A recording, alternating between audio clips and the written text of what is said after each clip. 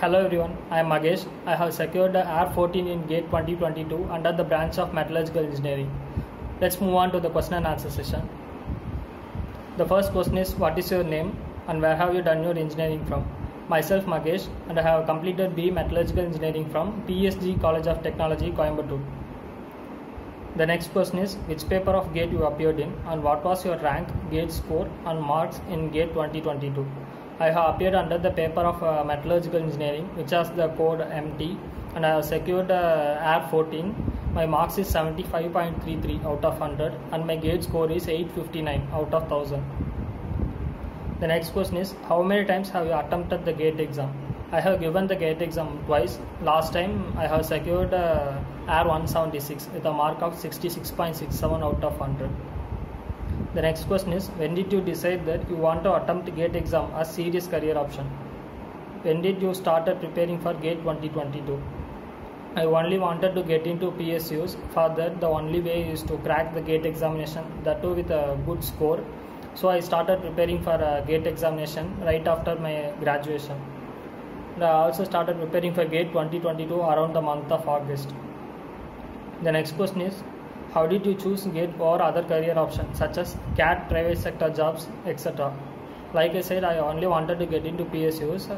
Also, I wanted a technical career or management, so I chose GATE instead of CAT. The next question is What was the difficulty level of GATE 2022 MT paper? Honestly, this year the paper is uh, slightly difficult. They have added uh, multiple MSQs which had not been asked in the previous years. Apart from the MSQs, the question is easy to moderate. The next question is How Find My Test, test series helped you? This test series helped me to rectify my mistakes which I used to do in the past and it also improved my accuracy and uh, time management.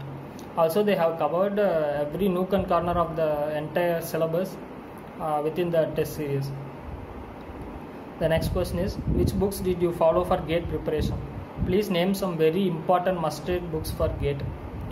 Uh, I, I used only very standard books for uh, my GATE preparation. For thermodynamics, I uh, used to see an uh, BS Murty sir videos which is available in NPTEL in YouTube. It uh, rekindled my interest in metallurgy. It is very interesting. Then for uh, non-ferrous extraction, I used the book of extraction of non-ferrous metals by H.S. Ray. And for iron and steel making, I used Ahindra Ghosh. For physical metallurgy, I used the Callister.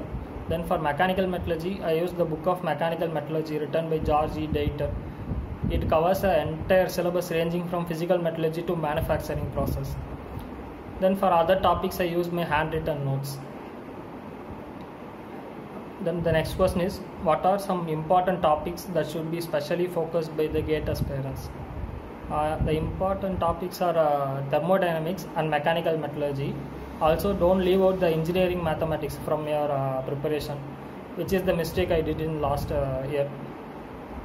Also, I suggest you to prepare the whole book of mechanical metallurgy by George E. Dieter. It covers a very wide range of syllabus so every year they ask uh, 30 to 40 marks straight out of this book.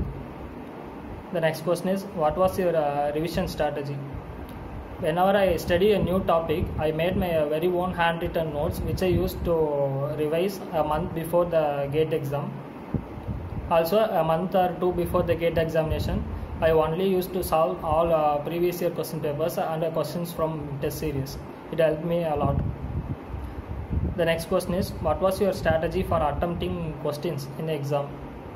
Uh, for me, I always started with a general aptitude. After that, uh, I attempt only uh, very easy, simple, and very direct questions. After that, I go for problematic and numerical answer type questions and questions which I have slightly confusing. the next question is What was your daily timetable? I have made uh, 10 to 12 timetables, but honestly, I haven't followed any one of the timetable. It just doesn't suit my type of uh, studies, so I didn't follow any timetable. Sometimes uh, I feel very low, so I take the entire day off. But sometimes I feel like I could study more, so I spend extra hours for my studies. It depends on one's mindset. Then the next question is uh, any suggestion for GATE MT aspirants? Uh, see, gate examination is not uh, impossible to crack. With uh, sufficient preparation and hard work, anyone can crack the gate examination, that with flying colors. So I suggest you to start studying, prepare well, and all the best for success. Thank you.